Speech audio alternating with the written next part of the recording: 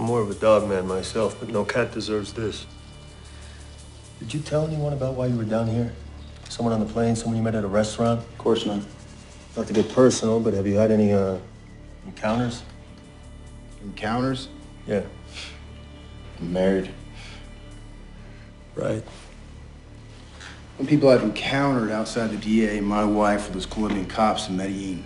No, Carrillo's solid. Did anyone have access to your credentials? Did you drop your wallet? Passport. How important is this cat to you? Excuse me? You gave someone your passport? You trying to get puffed through immigration? Huh? I didn't name it, dude. Traffickers pay people at the airports for intel.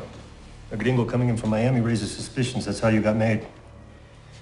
Don't let it rattle you, man. That's what they want. You probably got a price on your head, but no one's gonna take the contract.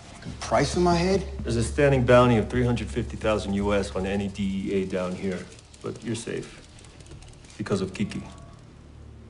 The Kiki Pena was referring to was Kiki Camarena, a DEA agent who went after the Guadalajara cartel in Mexico. Kiki was captured and tortured. They skinned his legs, put a bullet in each limb, used an electric drill in his head till he died. What the fuck were they thinking?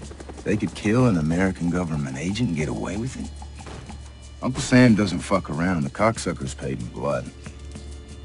They went after them so hard, every single narco in the world got the message that the DEA is off limits.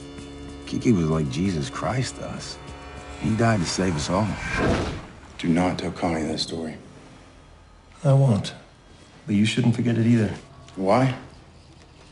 This cat is DEA.